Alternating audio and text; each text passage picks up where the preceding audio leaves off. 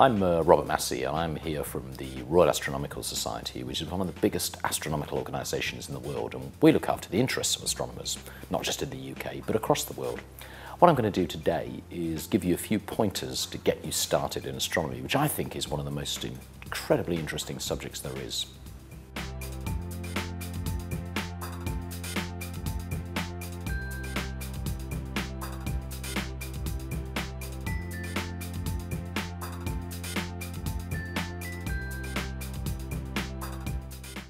One of the great things an amateur astronomer can have is a good telescope uh, like this one. With a telescope, what you're basically doing is making your eye a bit bigger.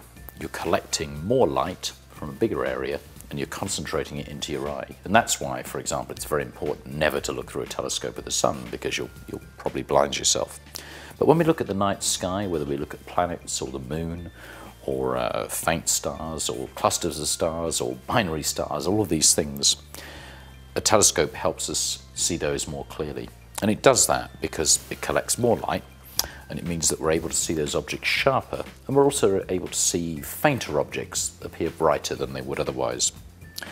And the way this telescope works, they all work more or less in the same way, but it just depends on whether they use mirrors or lenses. But this one collects light here, comes down the tube, hits a mirror, which you can't see so easily, but there's a curved mirror in here.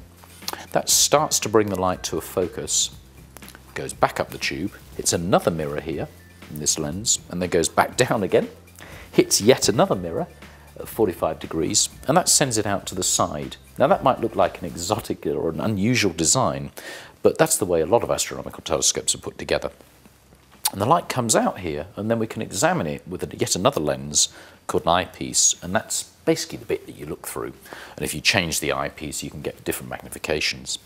So you simply look through it like this, and then you enjoy the view. You can focus it, you can move the telescope around. Ideally, it would be on a tripod, and you could just therefore work outside with more stability and uh, point to the objects you wanted to and keep them there.